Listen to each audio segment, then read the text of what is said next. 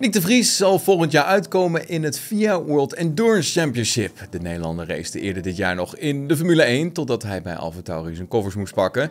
Maar nu heeft hij een handtekening gezet bij het fabrieksteam van Toyota.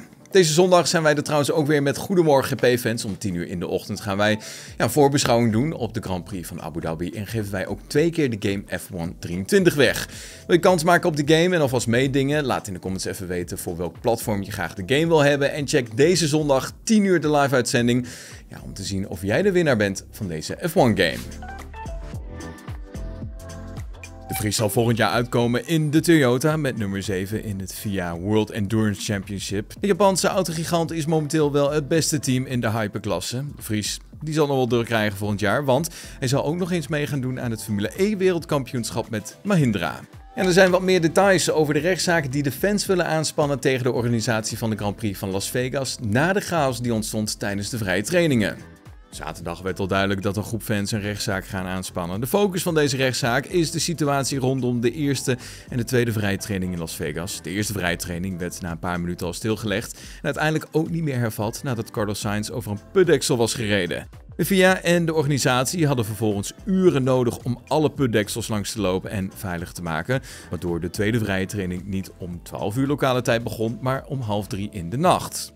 De organisatie heeft al aangegeven dat het de fans zal gaan compenseren voor het feit dat ze op de vrijdag geen auto's hebben gezien. De organisatie bood de fans een waardebon aan van 200 dollar, maar dit is, uh, inmiddels toch ook wel duidelijk, volgens een groep van 35.000 fans niet genoeg. Volgens de NOS heeft advocatenkantoor The Mopless Law en advocatenkantoor JK Legal Counseling namens deze groep dus de organisatie aangeklaagd. De grote groep fans wil per persoon zo'n 30.000 dollar schadevergoeding zien. Volgens het statement dat zaterdag al naar buiten kwam, gaat de aanklacht om contractbreuk, nalatigheid en misleidende handelspraktijken.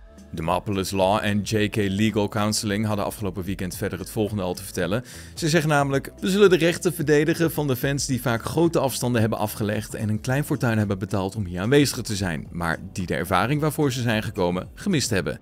De zaak zal worden behandeld in de staat Nevada. Gisteren hebben jullie gestemd onder onze video's. Jullie kunnen altijd het aantal sterren aangeven van 1 tot en met 5. Hoe leuk jullie de Grand Prix vonden. En een merendeel van jullie waren het eens. Het was een spectaculaire race. Een geslaagd weekend, weliswaar met een hoop verbeterpunten. Maar ondertussen liet Verstappen zich meermaals toch wel kritisch uit over de race in de aanloop naar het evenement. Zo gaf hij onder meer zichzelf een clown te voelen na de openingsceremonie. Na afloop van zijn zegen zong Verstappen dan wel weer Viva Las Vegas van Elvis Presley over de boordradio. En dit schiet ja, bij Palmer allemaal toch wel in het verkeerde keelgat. Eerlijk, bepaalde opmerkingen voor dit weekend en zelfs tijdens dit weekend zijn qua negativiteit beschamend geweest. Laat Palmer weten bij de BBC Check It Flag podcast. Max is enorm kritisch geweest, maar het is een groot succes geworden.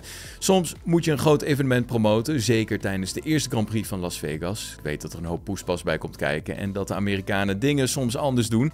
De grote coureursintroducties zijn niet voor iedereen weggelegd. Je moet echter wel wachten tot de race om te zien of het goed is of niet. Over het algemeen was het geweldig. Je kunt niet op het ene moment zeggen dat dit een puinhoop is, dat Monaco Champions League is en dit de Nations League, om vervolgens 50 ronden later Viva Las Vegas te zingen in een Elvis-pak.